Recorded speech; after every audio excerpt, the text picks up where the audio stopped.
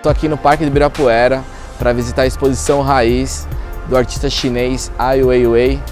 É a maior exposição já realizada sobre a obra dele no mundo. Vai ter uma grande retrospectiva de diversas obras que tiveram muita relevância na trajetória dele.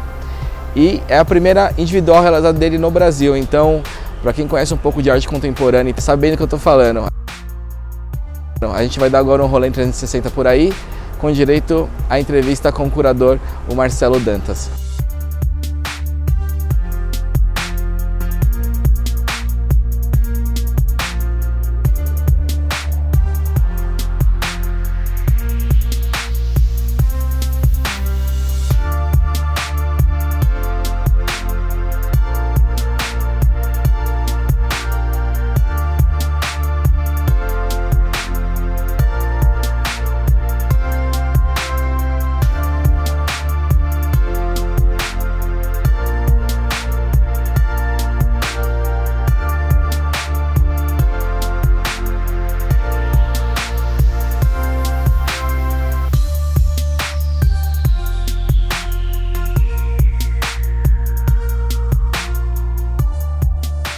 É uma exposição que traz um pouco da trajetória dele, mas também tem muita obra que é focada, feita aqui no Brasil, é isso?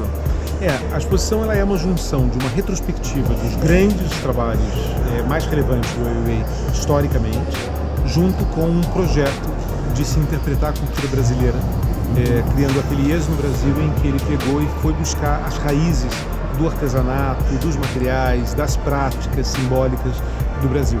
E aí há esse encontro né, entre um jeito de pensar do Ai e um jeito é, do Brasil de se expressar.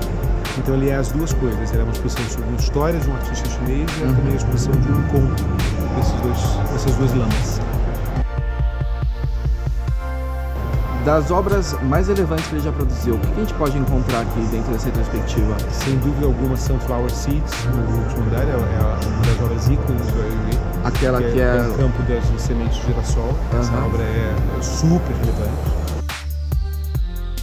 É, e essa é a primeira vez que a gente vai poder ver o straight na íntegra. Nunca foi montado na íntegra. que São os ferros da, da escola que caiu em Sichuan, na China, em 2008. É, essas duas obras são ícones absolutos da obra do Weiwei, mas também está aqui o barco, né, o, o Law of the Journey, né, que é o barco dos refugiados. É, são três grandes obras de grande porte que estão na exposição, além das obras brasileiras.